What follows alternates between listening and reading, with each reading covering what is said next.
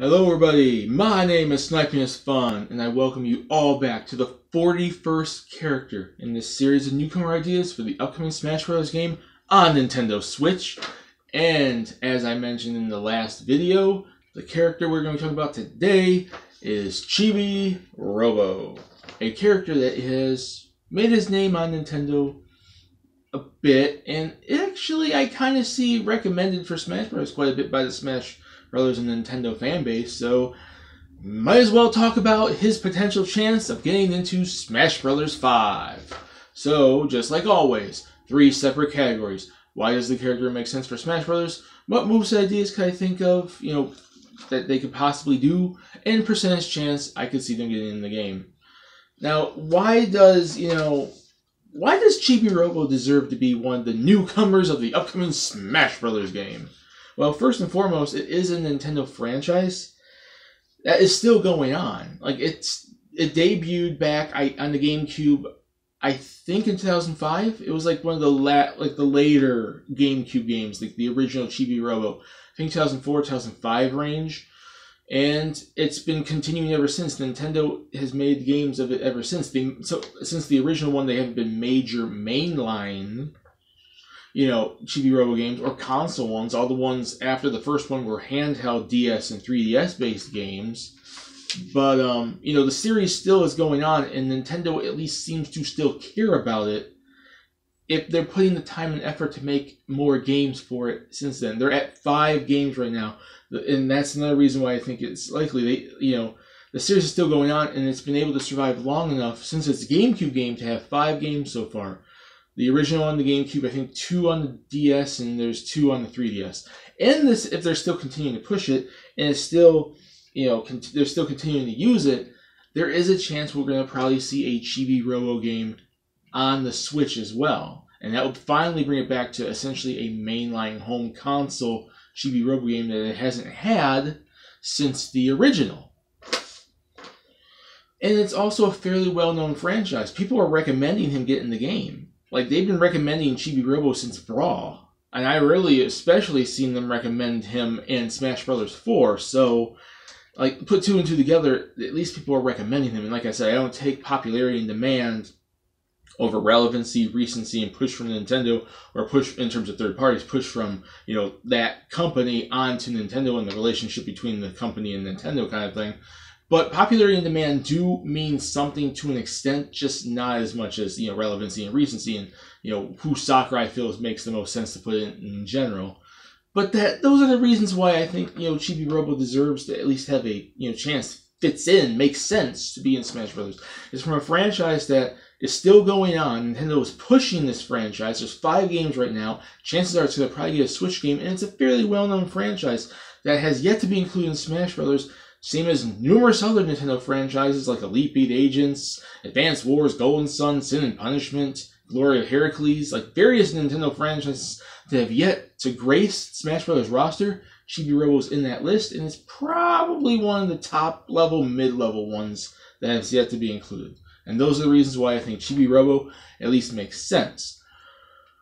Second category, move set ideas. I haven't, and this is a character I had to do a little bit of research on, just like Prince Sable and Rayman to some extent, you know, various characters. Some characters on this series of videos I have to do a little bit more research of because I either hardly played the series at all or haven't played it at all. And that secondary one, that uh, you know, reason is kind of why I had to do it here. I've never played a Chibi Robo game. I've never played the GameCube one or any of the ones on the DS or 3DS. The series looks fun. I just never got around to it and just never happened, I guess. So I had to do a little bit of research on how he would actually fight if he was in, you know, Smash Brothers.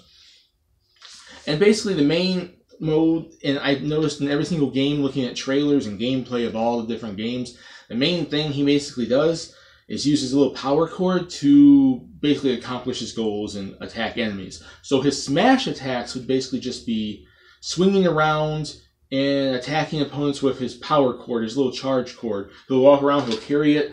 He might make him a slightly slower character because he's carrying around this big giant power cord. He might be a slower character, so that might make him a little bit faster, but he's slowed down because of his power cord. So he's going to be a character that you have to kind of master his speed on because you know and how to attack because he's not going to be the fastest character in the game. He's gonna he's gonna be slowed down, so you have to practice on timing your attacks pretty well, a risk versus reward type of thing. He can do some decent damage with his power cord, but he's not going to be the character that's going to zip zap around the stage and be able to do quick damages. You know, you have to time it and you have to swing the cord, You have to throw your power cord. You have to lift it up and smack people with the cord. You know, whatever he does, that's basically it. So it slows him down a bit, makes him a little bit more strategic, risk versus reward.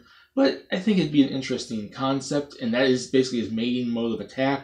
So I'm focusing his smash attacks entirely on the use of his power cord, charging it up. You could probably do a charge attack, and you'll just throw it across the stage or zip zap it around the stage, wrap it around people. When he trip someone, you know, smack him upside the head. You know, power cord, his little power cord, charge cord would basically be his main mode of attack, his smash attacks. In terms of his special attacks, though, he does little things throughout the series. He does use a little vacuum, so you can probably suck opponents in and then blow them out. Think like Luigi's little, you know, Luigi's, you know, vacuum from Luigi's Mansion. You know, now that's in Luigi's moveset as a Smash Bros. 4, but make it less powerful because that's like his final smash. So you could suck opponents in, and maybe blow them in a little bit, and then push them away. At least it's good, you know, bring opponents in closer to you or send them far away to protect you, kind of thing. Like you know, suck and blow, kind of like you know how you can switch on a vacuum. You can blow, you can pull people in and push them away. He basically does throw trash away. He's a little cleaner robot. So instead of like him picking up trash and getting rid of it, have him just take the trash out of his head, and it's like his ranged attack. He could throw trash, little pieces of paper or little objects from the game, like little tiny things, and just that'd be a range attack, and you can just throw it, and that would be your range attack thrown at opponents. He has a little helicopter head type of thing that comes out of his head. That could be a save maneuver when he's falling off the stage. A Little helicopter, and he goes on stage. If you're underneath opponents, that might be able to damage them. That will probably be a good way to either damage your opponent or to save yourself from falling off the stage. And he also uses a toothbrush for scrubbing and cleaning, so Special attacks, just have them beat people up with a freaking toothbrush. Scrub them with a toothbrush, smack them with a toothbrush, trip them with a toothbrush.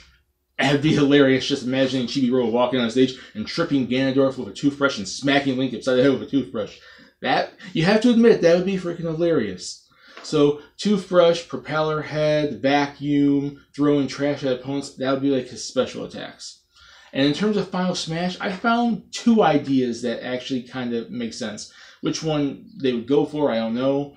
But I do have one I think that would kind of be, you know, the two ideas that I think kind of would be at least interesting for him.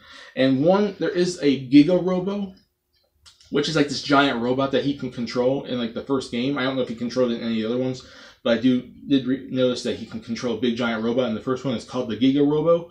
So make it kind of like a Giga Bowser type Final Smash. He controls this giant robot and jumps on the stage, and you just beat people up and just damage them. You give him heavy double, triple, quadruple damage. Or I found he also has a Super Chibi Robo form where he turns gold, and I think he does more damage. So it's like Super Sonic, except on the ground, and you can't fly around, and you just do double damage, triple damage, quadruple damage. So either one is a uh, some sort of like just giving you a damage multiplier, multiplier, multiplier, and beating people up for more damage than you know Chibi Robo normally does. Which one I personally would pick? I think Giga Robo would be a little more interesting, given that it's a throwback to the original game, and also it's a difference in him being super tiny and a super big form of him. Because Super Chibi Robo was kind of generic, given that it, we already have like Super Sonic and other characters that turn into a super form. But I think it'd be kind of cool too because that kind of represents the later games. He becomes like Super Gold Chibi Robo. I think I'd pick Giga Robo over Super Chibi Robo, but either of them would be pretty cool anyways. So that's his move set. Smash attacks, using his little power cord to smack people. In terms of special attacks, it'll be the toothbrush, the propeller hat, um, the vacuum, and throwing trash at opponents. And either the final smash would be the Giga Robo or the Super Chibi Robo. Now, in terms of the third category, percentage chance I could see him getting in. I know I've basically been hyping up at the beginning that he's a super push franchise that Nintendo still cares about, but at the same time, it doesn't seem they care enough about it when the only home console version was the original, and all the other ones since then have been either little spin offs or side game type things and like not a mainline big major it's always been like a platformer or something about cleaning up trash or going to the park or you know taking pictures or something. Not a big you know mainline like main story mode based kind of thing like the like the original was. So it doesn't seem they really care super much about it because they haven't given us a big entry in the series since the first one on the GameCube. And quite frankly, if he was all that important, I think he probably would have been included in Brawl or Smash Bros. 4. So he's already missed out on two games, and unless they really super push the franchise, I don't see him having a high percentage chance for this game.